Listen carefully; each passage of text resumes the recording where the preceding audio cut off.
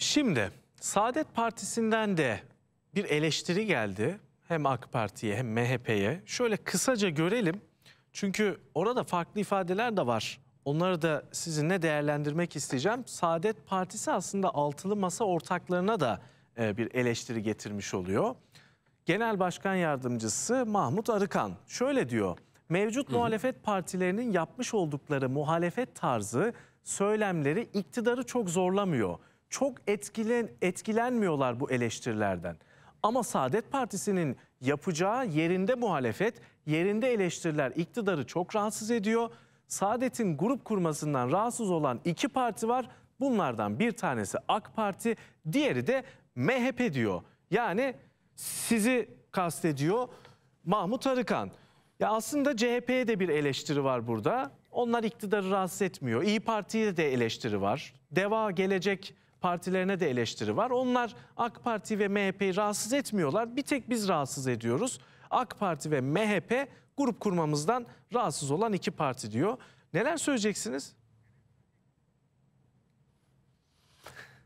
Çağlar Bey aslında ya söylenecek bir şey yok. Yani sonuç itibariyle siyaset milletin önünde yapılıyor. Ee, yani Milliyetçi Hareket Partisi, e, Cumhur İttifakı e, milletin iradesiyle seçilmiş, gelmiş ve grup kurmayı e, mevcut yasalarımıza göre, iç tüzüğümüze göre hak eden hiçbir siyasi oluşumdan e, rahatsızlık duymayacaktır. Milliyetçi Hareket Partisi'nin bu konuda rahatsızlık duyduğu e, tek grup e, HDP'dir. E, dolayısıyla bugünkü Evet. e, Yeşil Sol Parti'dir. Dolayısıyla e, bundan rahatsızlık duyuyor. Bu rahatsızlığını daha başından beri bunların ilk meclise girdiğinden bu yana Sayın Genel Başkanımız e, o dönem sol tarafımızdaydı bunlar.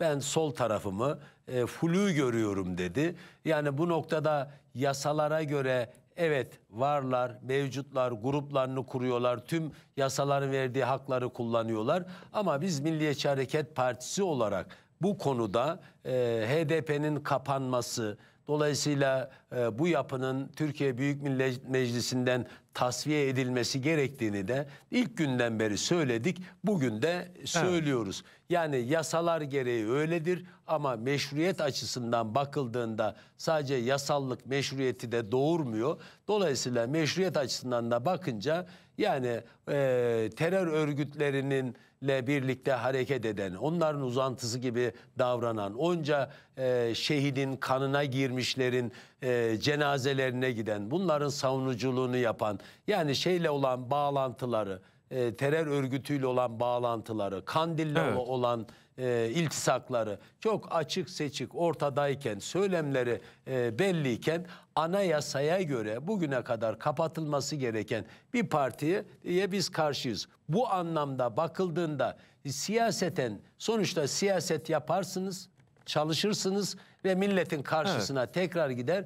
O istersiniz yani o Saadet Partisi'nden e, veya onların kuracağı gruptan Milliyetçi Hareket Partisi Evet. ne gocunacak? Yani gidip milletten e, oy istiyorlarsa, millet oy veriyorsa açık seçik kendi listeleriyle e, girip e, kendi logolarıyla oy alıp meclise de gelip grup kuruyorlarsa Evet. buna kimsenin diyeceği bir şey yok. Biz millet iradesinin önünde Evet. sadece başımızı eğeriz. De, eğer bir Evet. ek- şey bizim açımızdan hoş olmayan bir durum varsa oradan dersimizi çıkarırız. Evet